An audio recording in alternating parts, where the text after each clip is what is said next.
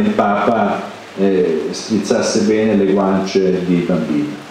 I miei libri non hanno l'intento di colpire la Chiesa, non hanno l'intento di colpire il Papa, hanno l'ambizione di fare un po' di cronaca sulle finanze del Vaticano e su una situazione che è drammatica, perché quello che ha scoperto Papa Francesco è una situazione drammatica che tra l'altro lavori in corso, non ho scoperto, tuo scoperto. libro emerge che alcune cose ancora non sono saltate certo. fuori, magari raccontaci un po', ma questo Papa che sembra molto solo leggendo il tuo libro.